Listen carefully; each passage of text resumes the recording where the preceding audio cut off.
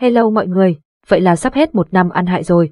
Năm nay mọi người đã làm được gì hãy bình luận cho mình biết nha. Và hôm nay chúng ta có một mùa Vivid mới, bây giờ cùng mình mở xem đẹp không nhé.